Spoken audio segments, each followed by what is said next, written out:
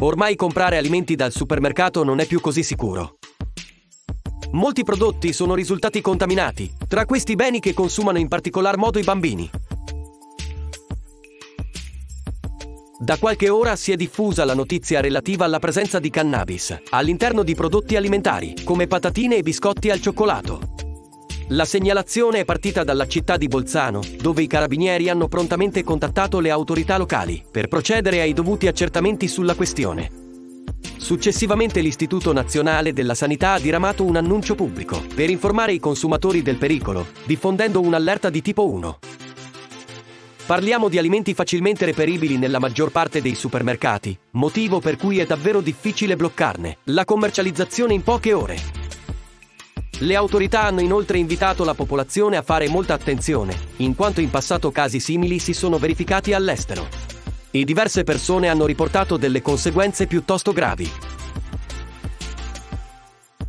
La presenza di THC nei biscotti e nelle patatine ha subito generato ansia e preoccupazione nelle famiglie.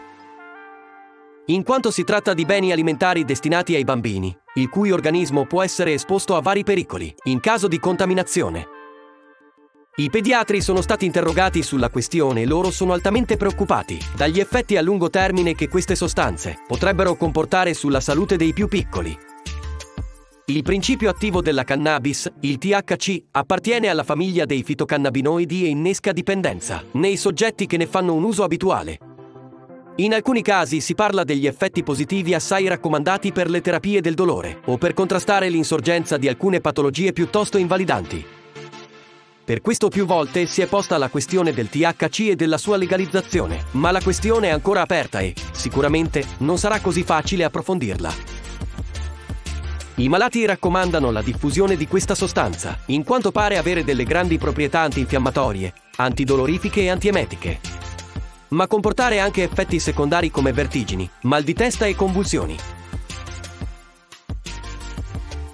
Ovviamente tutti gli esseri umani sono suscettibili all'azione dei cannabinoidi, ma alcune categorie potrebbero manifestare ulteriori disagi.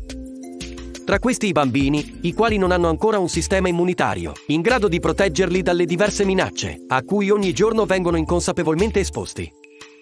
A tal proposito, parliamo di un fenomeno noto come esposizione involontaria, dove per l'appunto il soggetto non è consapevole di quello che sta succedendo e nemmeno di andare incontro ad un pericolo così grande. Molti genitori si sono quindi preoccupati, ma del resto è impossibile sapere con anticipo tutto quello che potrebbe farci stare male una volta solcata la porta di casa. Qual è la vostra opinione in merito a quanto avvenuto nelle ultime ore? Eravate consapevoli in merito alla pericolosità che il TCH può avere sull'organismo umano? A voi i commenti! Metti mi piace e iscriviti al canale per ricevere gli aggiornamenti.